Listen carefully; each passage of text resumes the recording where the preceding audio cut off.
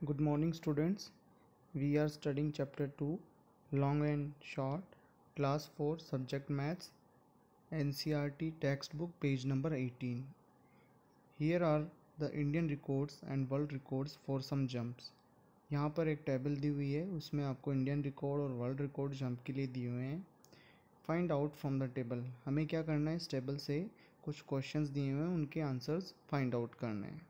Let's see question number one how many centimetres more should Chandrapal jump to equal the men's world record for high jump तो हमें क्या करना है इस first question में? चंद्रपाल को high jump men's world record बनाने के लिए और कितने सेंटीमीटर जंप करना होगा, ये हमें फाइंड आउट करना है। कैसे करेंगे हम? फ़र्स्ट ऑफ़ ऑल चंद्रपाल का जो रिकॉर्ड है, वो हम इसमें टेबल में देखते हैं। तो यहाँ पे देखिए, चंद्रपाल का इंडियन रिकॉर्ड में है two metre and seventeen centimetre ठीक है? एंड वर्ल्ड रिकॉर्ड जो हाई जंप का है मेन के लिए, वो है two metre and forty five centimetre Javier S so we will solve this question world record for high jump is equal to कितना है? Two metre and forty five centimetre Chandrapal record of high jump two metre and seventeen centimetre है. कितना उसको और ज़्यादा jump करना पड़ेगा? तो इसके लिए हम क्या करेंगे? हम उसको माइनस करेंगे। Therefore more number of centimetres required by Chandrapal to equal men's high jump world record हम क्या करेंगे? Two metre forty five centimetre में से two metre seventeen centimetre minus करेंगे।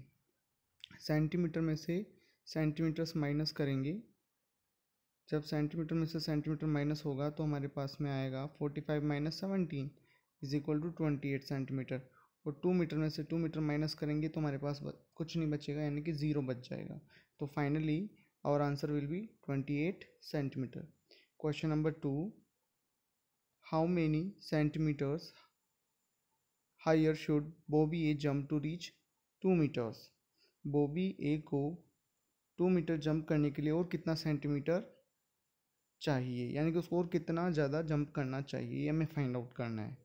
तो हमें सबसे पहले बॉबी ए का रिकॉर्ड हाई जंप का देखना होगा टेबल में। जब हम टेबल से देखेंगे तो हमारे पास उसका रिकॉर्ड आता है one metre ninety one centimetre Bobby A record for high jump one metre ninety one centimetre so required centimetre to reach two metre two metre तक पहुँचने के लिए, यानी कि टू मीटर जंप करने के लिए और कितना उसको ज़्यादा जंप करना है, ये फाइंड आउट करने के लिए अगेन हम माइनस करेंगे सब्ट्रैक्शन करेंगे। देन हम किसमें से किसको सब्ट्रैक्ट करेंगे? टू मीटर में से one metre ninety one centimetre को हम सब्ट्रैक्ट करेंगे। अब देखो, इसको सिंपल बनाने के लिए हमने क्या किया है? टू मीटर को हमने लिख दिया। One metre plus one metre, ठीक है? और वन मीटर में होते हैं हंड्रेड सेंटीमीटर तो हम क्या लिख देंगे इसको? वन मीटर एंड जो दूसरा वन मीटर था, उसको हमने लिख दिया hundred centimetre minus one metre ninety one centimetre. अब हम सबसे पहले सेंटीमीटर में से सेंटीमीटर माइनस करेंगे। तो हंड्रेड में से नाइन्टी वन माइनस करते हैं तो हमारे पास बचता है नाइन सेंटीमीटर और वन मीटर में से वन मीटर माइनस करते हैं तो ज़ीरो यानी कुछ नहीं। तो जब ज़ीरो मीटर आया तो हम उसको लिखेंगे नहीं। तो हमारे पास आंसर क्या रह जाएगा? केवल nine centimetre question number three Galina's long jump is nearly आपको फाइंड आउट करना है गैलिना का जो लॉन्ग जंप है, वो वैल्यू किसके इक्वल है या किसके नियरली है, किसके बराबर है लगभग? So option A seven metres option B seven metre a half metres option C eight metres so हम क्या करेंगे? सबसे पहले टेबल में से गेलेना का जो लॉन्ग जंप है, उसका रिकॉर्ड हम चेक करेंगे। तो उसका रिकॉर्ड कितना आता है? Galina's long jump record is seven metre fifty two centimetre ठीक है? Seven metre fifty two centimetre उसका रिकॉर्ड है। तो अब हम फाइंड आउट कर सकते हैं। देखो यहाँ पर फिफ्टी टू किसके नियर में सेंटीमीटर हम सबसे पहले चेक करेंगे। सेवन मीटर से बहुत अगर हम इसको माइनस करके देखते हैं फिफ्टी टू सेंटीमीटर को seven metre fifty two centimetres में से अगर हम सेवन मीटर को माइनस करें तो हमारे पास में बहुत डिफरेंस हो जाता है, ठीक है? ऐसे ही एट मीटर में से अगर हम seven metre and fifty two centimetre को माइनस करते हैं तो भी बहुत ज़्यादा डिफरेंस आता है। लेकिन अगर seven metre a half metres half metre का मतलब होता है फिफ्टी सेंटीमीटर सेवन मीटर और फिफ्टी सेंटीमीटर को अगर हम इससे कंपेयर करें, seven metre fifty two centimetre से तो केवल डिफरेंस टू सेंटीमीटर का आता है। यानी कि जो हमारा ऑप्शन सी बी है, वो हमारा सही आंसर होगा। यानी कि गेलिना का जो लॉन्ग जंप का जो रिकॉर्ड है, यानी कि seven metre fifty two centimetre ये किसके नियर में है? Seven metre and a half metre यानी ऑप्शन बी हमारा सही होगा। So it is nearly seven and half metres that is option B, ठीक है? Question next question number four look at the women's world records what is the difference between the longest jump and the highest jump हमें क्या करना women's world record check करना है table में। और longest jump और हाइस्ट जंप का जो डिफरेंस है, यानी कितना डिफरेंस आ रहा है दोनों में, वो हमें फाइंड आउट करना है। तो सबसे पहले हम लिखेंगे women's world record for high jump कितना है? Two metre and nine centimetre.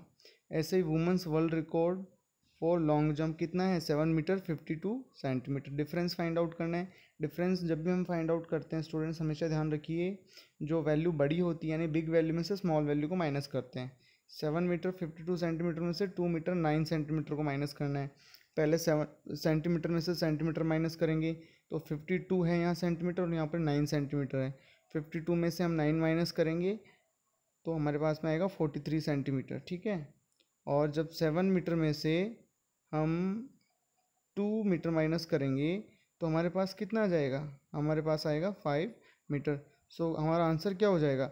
हमारा आंसर हो जाएगा five metre and forty three centimetre ठीक है स्टूडेंट्स ओके इसके बाद next question if Mike P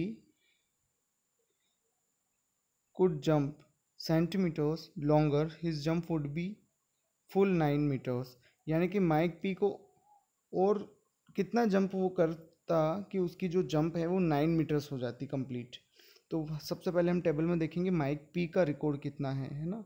mic P का रिकॉर्ड जब हम टेबल में देखते तो हमारे पास में आता है eight metre and ninety five centimetre ठीक है? तो हम क्या करेंगे? इस वैल्यू को हम माइनस करेंगे। किसमें से किसको माइनस करेंगे? Difference to reach nine metre है ना? कितना मतलब डिफरेंस होगा? तो कैसे फाइंड आउट करेंगे? बहुत आसान तरीका है इसको फाइंड आउट करने का।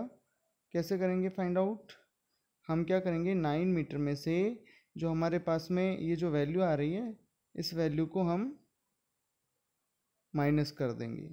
Eight metre and ninety five centimetre को हम माइनस कर देंगे। कैसे माइनस करेंगे? देखो।